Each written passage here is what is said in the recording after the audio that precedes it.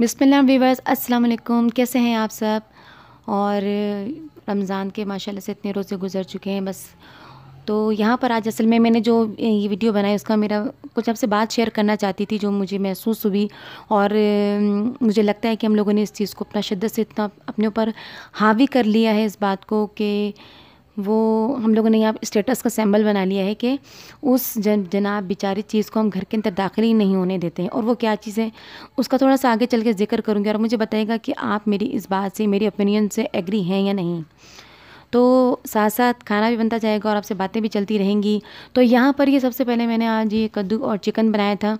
तो टमाटर, प्याज, लहसुन, अदरक और नमक, मिर्च, हल्दी वगैरह डाल के मैंने मसाले को अच्छी तरीके से भून लिया था और फिर इसके अंदर डालती थी चिकन। उसको अच्छी तरीके से फ्राई की हुई थोड़ी सी चिकन थी और उसको डाल के अच्छे तरीके से भुनाई की। इतनी भुनाई की कि उसका मसाला बिल्कुल बारीक हो गया। तो फिर मैंने इसके अंदर डाल दिए थे ये कद्दू और थोड़े से अलग से निकाल के रख थे क्योंकि मुझे इसको बॉयल करने के बाद इसका रायता भी बनाना था।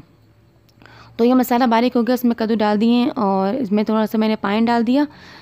जितना आपको शोरबा रिक्वायर्ड होता है कि वो उस हिसाब से आप डाल दीजिए, उसको मैंने रख दिया था दम पर।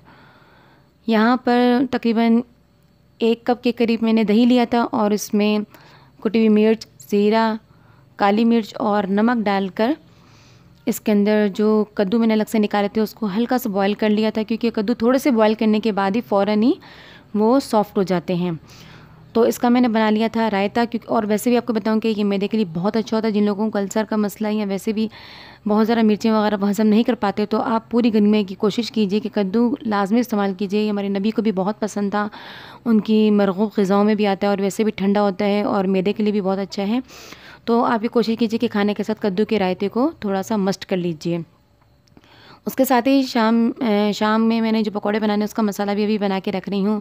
ये टमाटर, प्याज हैं, हरी मिर्चें और इसके अंदर डालना है नमक, मिर्च और इसके अलावा आप कुटी मिर्च भी डाल सकते हो तो ज़्यादा अच्छा है। ज़ीरा, साबुत धनिया और चाट मसाला डाल दीजिए और इसमें जितना आपने बेसन डालना हो, जितने आपने पकौड़े बनाने हो, बेसन डाल लीजिए और ये पकौड़ा का बना, मसाला बनाकर मैंने इसको रख दिया था फ्रिज के अंदर और फिर इसके बाद बारी आती है जनाब, उस बात की जो मैं आपसे शुरू में ज़िक्र कर रही थी कि हम लोगों ने अपने घरों के अंदर से बड़ा गोश्त, यानी कि बीफ का जो दाखला है, वो बिल्कुल बंद कर दिया है।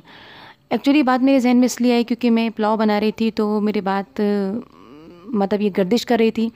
दिलो दिमाग में, क्योंकि मैं क्लास में जाती हूँ तो वहाँ एक दफ़ा ये ज़िक्र हो रहा था कि ये जो बड़ा गोश्त होता है तो कुछ ख़वान ज़िक्र कर रही थी कि हम बड़े गोश्त को बिल्कुल भी अलाउ नहीं करते हैं, घर के अंदर आना, हम उसको पकाते नहीं हैं, ये सेहत के लिए बहुत नुकसानदेह होता है। तो आप ये देखिए मेरे पास सिस्टम मौजूद है, कितना साफ़ और कितना अच्छा बेहतरीन गोश्त है। तो मेरे जहन में ये बात है कि देखें, अल्लाह ताला ने जब हम पर जो चीज़ें हलाल की हैं, जो चीज़ें अल्लाह ताला ने हमें दी हैं खाने के लिए, चाहे वो गोश्त बकरे का हो, भेड़ का हो, गाय का हो, किसी भी चीज़ का गोश्त हो तो जब अल्लाह ताला ने हलाल कर दिया हमारे लिए तो हम उसको ये कहकर किस तरह रद्द कर सकते हैं कि इससे नुकसान पहुँचता है और उसको बिल्कुल हम लोगों ने, आप, मुझे ये लगता है कि हम लोगों ने स्टेटस का सैम्बल भी बना लिया है कि बड़ा गोश्त तो घर के अंदर आना ही नहीं चाहिए। अरे भाई, अल्लाह के नेक बंदो, जब अल्लाह ताला ने इस, इतने अच्छे गोश्त को हम पे हलाल किया, इसको खाने को हलाल किया है तो क्यों हम लोगों ने इसको ऊपर इस तरह हावी कर लिया कि ये अगर हम खा लेंगे तो हम बीमार हो जाएँगे?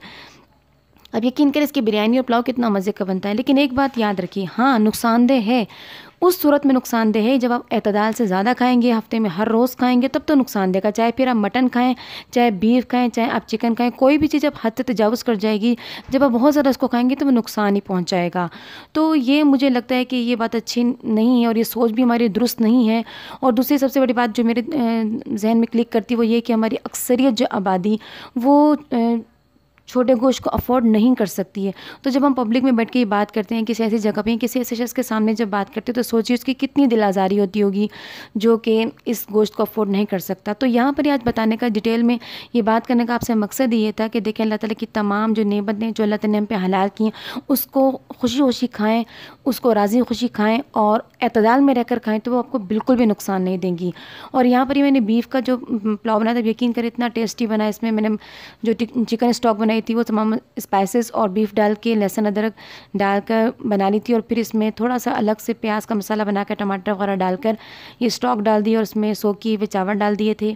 तो ये बहुत टेस्टी बना था, बहुत मज़े का बना था। आपका इसके बारे में क्या ओपिनियन है कि वाकई बड़ा कुछ नुकसानदेह है? और अगर इसका कोई नुकसान है तो मुझे कमेंट सेक्शन में बताइएगा। आप इसके बारे में क्या समझते हैं? मेरी राय से इतफाक़ करते हैं या नहीं करते? इस बारे में अपनी राय ज़रूर दीजिए कमेंट, मुझे कमेंट सेक्शन में कि आप क्या समझते हैं कि हमें इस गोश्त को अपने घर में लाना चाहिए या इसका दाखिला मुकम्मल तौर पे घर पर बंद कर देना चाहिए? तो जनाब, इधर तो ये हो चुकी है मेरी तैयारी। बस इसके अंदर आखिर में मैंने थोड़ी से काली मिर्च और गरम मसाला डाला है और यहाँ पर ये मेरा पुलाव जो है वो दम पर रख दिया मैंने। ये जनाब, तैयारी मेरी कंप्लीट हो चुकी और ये देखिए, मैं थोड़ा सा भी खोल के देखा था तो उसमें थोड़ा सा पानी था। तो हो चुकी जनाब, फुल कंप्लीट तैयारी। और यहाँ पर ये मैं थोड़ा सा सैलेड बना रही हूँ, क्योंकि आप जानते हैं कि अगर पुलाव या बिरयानी हो तो उसके साथ अनियन तो मस्ट होते हैं। तो यहाँ पर ये बस सैलेड बन गया। इसके बाद मैं जल्दी से बनाने लगी हूँ। मैंने आलू जो काट के रख लिए थे पानी के अंदर थोड़ा सा नमक डाल के तो फिर इसके बाद मैंने बनाने जल्दी से पकौड़े। और पकौड़ों का ज़ोर तो बड़ा मज़े का लगता है।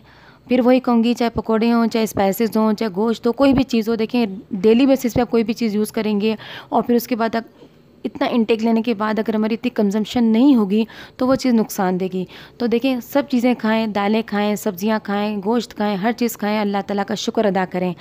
यहाँ पर मैं थोड़े से समोसे निकाले थे, ये मेरे बस आखिरी समोसे जो रमज़ान से पहले मैंने बनाए थे, ये आज माशाल्लाह से पूरे हो गए और यहाँ पर थोड़े से फ्राइज़ बनाए क्योंकि ये बच्चों गुड़िया को और मोहम्मद मुस्तफ़ा को बहुत पसंद है और यहाँ पर ये मेरा कद्दू का सालन भी देखिए, कितनी माशाल्लाह प्यारी लुक है, तैयार हो चुकी और पड़ोस से थोड़ा सा ये मेरा सामान भी आया था तो अब दीजिए इजाज़त हो, चुकी मेरी तैयारी। अल्लाह हाफि